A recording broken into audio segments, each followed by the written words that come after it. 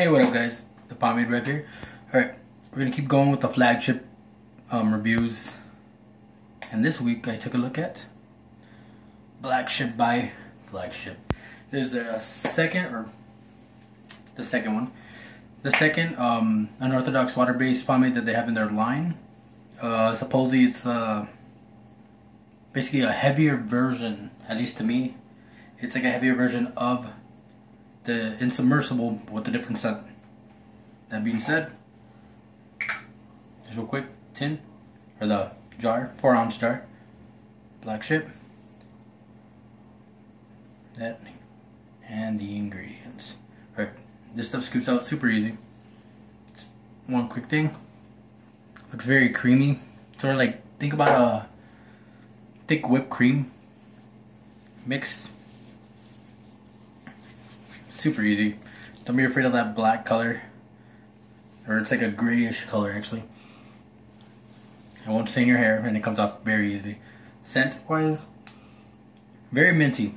However, um, when I was using it, say I was downwind, I did get like another vanilla type scent. It says vanilla in it. You can't very, you can't smell it that much, but here and there I did get hints of it. So you can tell application. Super easy. No taking pull at all. Of course I applied this. I mean with a little bit of water in my hair. I like doing it. It makes it a lot easier actually. It distributes it distributes it a lot better. And even with wet hands I like the way it looks. Now like I mentioned it is like a bigger brother a stronger brother to the Insubmersible. So if you guys haven't tried that one, I really recommend it. I do have a review up as well, and I will link it in the description below. I don't know, man. Just letting you guys know right now what I feel, how I feel about this pomade. Like I mentioned in my last video, I think I mentioned that um, Insubmersible was my go-to. Well, to be honest, this one beat it. The hold, it's like a medium heavy, and it literally lasted the same. Just how I styled it right in the morning, it's how it stayed throughout the day. And it provided very nice comb lines. Uh, should be about done. I use like, I don't know, five scoops, I guess. Comb, real quick. You tell, no tug and pull. Real quick, real easy. As always, slick my hair a little bit back. Find my part, or make a part.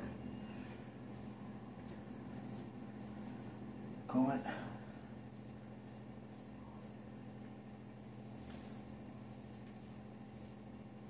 And it's almost done actually. Jeez. Yeah. Uh, the weather here in Texas has been freaking like I've always mentioned, man. It's been crazy. Humidity's been high. Lately, it's been hot as hell. Especially in the uniform that I wear. It's horrible. So, going inside, outside of buildings all day. It really should take a toll on this pomade, but it really does not. It literally stayed in place all day get my hair just how I wanted it. With little, a little bit, I did have straight hairs. Other than that, the, the hold, the overall hold stayed exactly. Say I leave it like this, I'll pretty much stay like this. So, do I recommend it? Hell yeah, I do.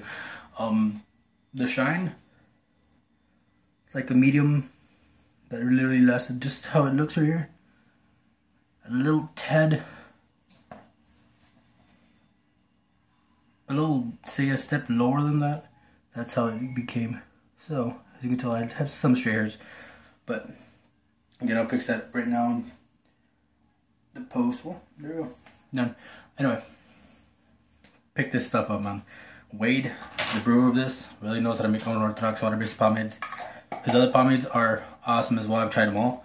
So, also have a code for you guys. Use the pomade rev at the at their Etsy store. I'll link it in the description below. You get 10% off. You support the brewer, you support myself.